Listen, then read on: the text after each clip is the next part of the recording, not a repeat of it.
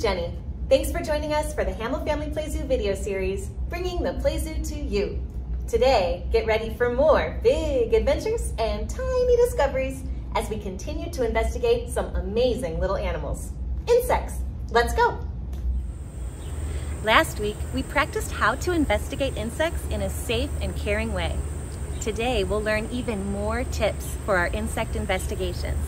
Remember, busy eyes looking, body.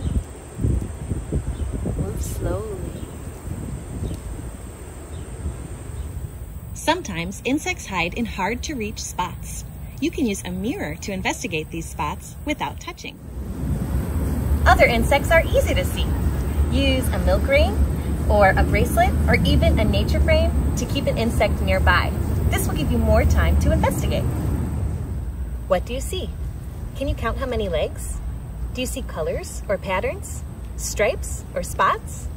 Do you see a head and a body? How about wings or antennae?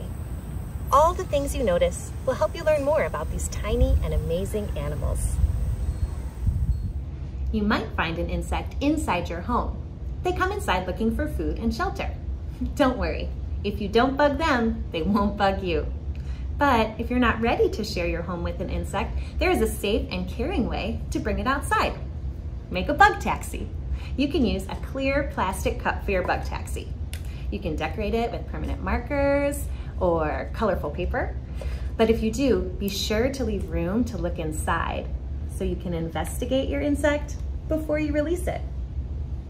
When you're ready to bring your insect outside, slide a piece of paper underneath your bug taxi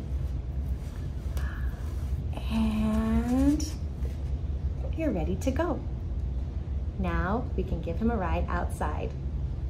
Be sure to keep your bug taxi handy for future insect investigations.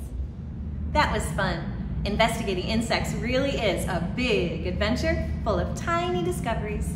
We'd love to hear about your insect investigations. Send your stories and photos to the address on your screen.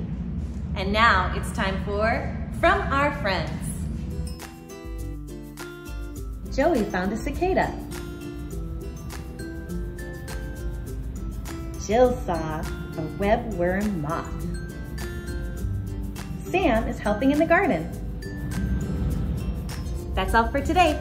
Next week, we will learn about an animal who's getting ready to fly south for the winter, the monarch butterfly. Bring along some paper, scissors, and markers or crayons and make your very own butterfly finger puppet. See you next week.